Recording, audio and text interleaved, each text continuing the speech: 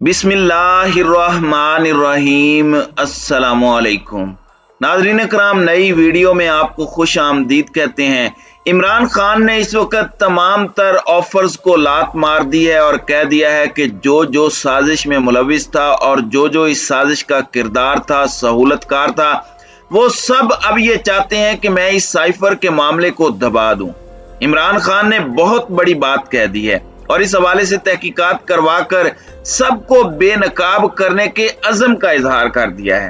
पाकिस्तान की तारीख का सबसे बड़ा गद्दारी का मुकदमा बनने का तबले जंग इस वक्त इमरान खान बजा चुके हैं। और जो ऑफ़र आई थी कि आपके अलावा और कोई ऑप्शन नहीं है, आपके अलावा हमारे पास अब कोई और रास्ता नहीं है, आपको वापस भी लाना है, सारे का सारा मामला दुरुस्त भी करना है और सुबह का भूला शाम से पहले घर आने को तैयार है।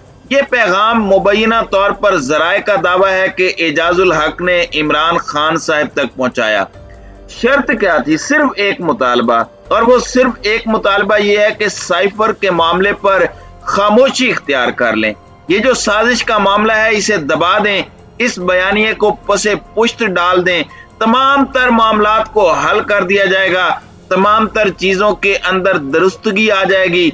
स्क्रिप्ट को बदल दिया जाएगा रजीम चेंज के ऑपरेशन को अनडू कर दिया जाएगा। और ज़ाहिर है कि इस वक्त ये बात वाजे हो चुकी है कि पाकिस्तान की तरक्की, खुशहाली, मुआशी तरक्की का जामिन इमरान खान के अलावा कोई और नहीं हो सकता। आलमी सतह पर जो आँखें दिखाता है, उसी की इज़्ज़त होती है। कोई मुल्क इस इम्पोर्टेड हुकूमत की मदद को तैयार नहीं है। खान साहब ने कल ये कंफर्म कर दिया और हमने ये खबर चार दिन पहले दी थी कि शाह महमूद कुरेशी को चीन और तुर्की बुलाया जा चुका है। यानी कि वो वज़ीर खारजा नहीं है, फिर भी उन्हें सरकारी दौरे की दावत दी जा रही है। बहुत से मामला पसे पर्दा चल रहे हैं। पाकिस्तान के दोस्त ममालिक को इस वक्त तशवीश लाक है। इस वक्त पाकिस्तान के हालात पर, पाकिस्तान की मीशत पर। और ये मुश्किल फैसले भी क्या मुश्किल फैसले हैं कि अगर मुल्क की मीशत को बचाना है और मुल्क की आवाम को तबाह कर देना है। यानी इनके पास दो ही रास्ते हैं या ये मुल्क को तबाह कर दें या मुल्क की आवाम को। और दोनों चीज़ें एक दूसरे से डायरेक्टली लिंक हैं। महँगाई के तूफ़ान से भी तो मुल्क तबाह होगा। महँगाई का तूफ़ान नहीं लाते। ये ऐसे नाअहलों का टोला इन्हें इंतहाई अहल साबित करके हम सब पर तो मुसलत कर दिया गया था। अब जाहिरी बात है, जिस तरह से शौकत तरीन साहब ने कहा कि मुझसे कहा गया कि इस हुकूमत की मदद करें, इस पूरे सेटअप की मदद करें, लेकिन मैंने कहा कि ये वही बात है कि मुझे मेरे घर से निकाल दो। फिर कहो कि मैं घर बेहतर अंदाज में चलाऊं, मैं ऐसा नहीं करूँगा। और उन्होंने इनकार कर दिया। उन्होंने कहा कि इस इम्पोर्टेड हुकूमत की वो मदद नहीं करेंगे। आप एक निगरान सेटअप ले आए। ये उनका क्लेम था, लेकिन मुख्तदार हलकों ने इस क्लेम को गलत कहा। शेख रशीद के क्लेम को भी गलत कहा और तमाम तर बातों की तरदीद की और खलीज गहरी से गहरी तर होती गई। लेकिन मुल्क गिर एहतजाज एक बहुत बड़ा रिफरेंडम है और ये रिफरेंडम एक बड़ा वाज रिफरेंडम था। एक वो एतवार था जब इमरान खान के निकालने के बाद बगैर कॉल के लोग निकले। अमरीकी साजिश के खिलाफ, अपने मुल्क से गद्दारी के खिलाफ। और अब इस बयानिए के साथ महँगाई का बयानिया भी है और इमरान खान मोमेंटम पकड़ते जा रहे हैं। वो हर गुजरते दिन के साथ मजीद बातें वाजे करते जा रहे हैं और चेहरे बेनकाब होते जा रहे हैं। इस सारे मामले में पैगाम भी भेजे गए, दीगर चीज़ें भी की गई। सारे का सारा मामला, सारे का सारा माजरा किया गया। लेकिन इमरान खान के हवाले से जो हमने आप तक खबर पहुंचाई थी कि इमरान खान को कहा गया कि साइफर का मामला दबा दें, उस वक्त तक ये दावा था। इस वक्त ये जराए की खबर थी, लेकिन अब इमरान खान ने इस क्लेम की ना सिर्फ़ तस्दीक कर दी है, यानी वाकई इमरान खान को यह पैगाम दिया गया है। इमरान खान से रबता किया गया है, लेकिन इमरान खान ने अपना फैसला भी सुना दिया है, और किस तरह से इसका असर होगा। पाकिस्तान की तारीख का ये सबसे बड़ा गद्दारी का मुकदमा कैसे बन सकता है, इस हवाले से भी बताऊँगा, लेकिन पहले आप सुन लें कि खान साहब ने क्या कहा। चेयरमैन पीटीआई इमरान खान का कहना था कि मौजूदा हकूमत रजीम चेंज साजिश का हिस्सा बनी, साजिश थी या मुदाखलत, इसकी तहकीकात होनी चाहिए। सोशल मीडिया इन्फ्लुएंसर से खिताब करते हुए सबक वज़ीर का कहना था कि आज रात मुल्क भर में महँगाई के खिलाफ एहतजाज की काल दी है। तेल, बिजली, गैस महँगी होने से निचले तबके पर असर पड़ रहा है। इमरान खान ने कहा कि आप लोगों के पास आम तब, तबके तक आवाज़ पहुँचाने का रास्ता है। अवाम इस वक्त महँगाई के बायस गुस्से से भरे बैठे हैं। थोड़ा सा रुपया या पेट्रोल की कीमत बढ़ती थी तो ये महँगाई मार्च करते थे। ये लोग अब खुद इन पर महँगाई के बम फेंक रहे हैं। तहरीक अदम एतमाद के पीछे महँगाई का झूठा बयानिया बनाया गया था। आप हुकूमत नहीं संभाल सकते थे तो साजिश क्यों की थी आपने? और इमरान खान अब गुस्से में है। इमरान खान निकाले जाने और रजीम चेंज ऑपरेशन के बाद हर्ट थे, दुखी थे, क्योंकि वो एक्सपेक्ट नहीं कर रहे थे। लेकिन अब ये जज्बा गुस्से में बदलता जा रहा है। इमरान खान के साथ अवाम है, जो इमरान खान के बाजू बने हुए हैं। और अब इमरान खान भी खुलकर बोल रहे हैं और इसीलिए तो अब रबते हो रहे हैं। इस सारे मामले में सबक वज़ीर आज़म का कहना था कि पाकिस्तान को असल मसला डॉलर्स की कमी का है।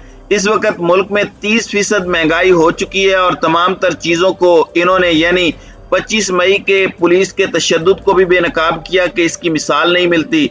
और फिर यह भी कहा कि सी सी पी ओ लाहौर और आई जी इस्लामाबाद को खास तौर पर हिदायत थी कि जुल्म करना है, तैयारी कर लें। 10 जुलाई से पहले कॉल दे सकता हूँ।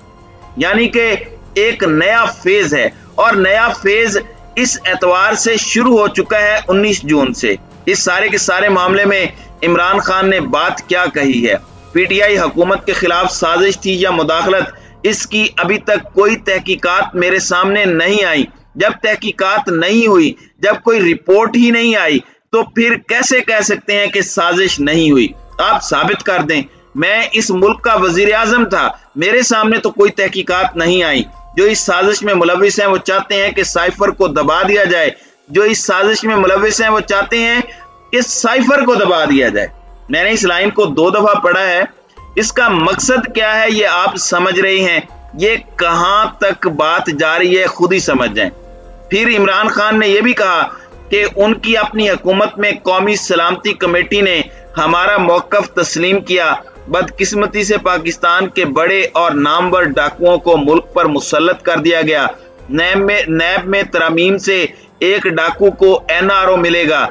चेयरमैन पीटीआई का कहना था कि अब इस पूरे के पूरे मामले में तहकीकात करवाई जाएँगी और तहकीकात होंगी। इमरान खान अब इस मामले से पीछे नहीं हट रहा। बेशक इसके सामने एक हकूमत नहीं, दस हुकूमतें रख दें। इसके सामने एक टर्म नहीं, दस टर्म्स रख दें। इमरान खान क्या हुकूमत में आकर ये तहकीकात मुकम्मल नहीं कर सकता? इसमें तो अवामी बयानिया भी है। नवाज़ शरीफ का मुशर्रफ के खिलाफ बयानिया तो महज इंतकामी था, मगर ये मुल्क की खातिर मामला है।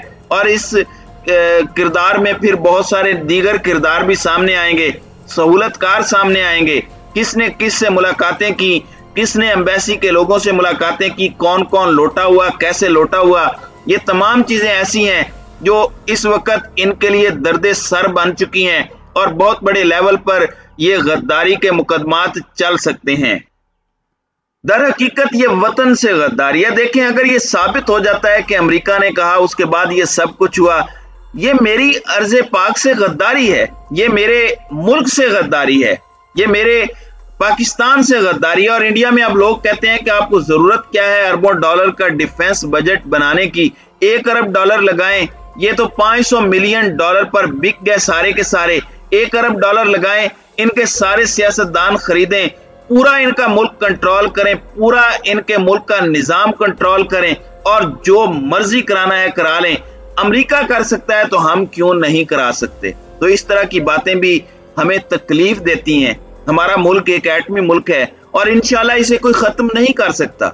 और इनशाला कायद आज़म का ये कहा हुआ पूरा होगा कि no power on the earth can undo Pakistan.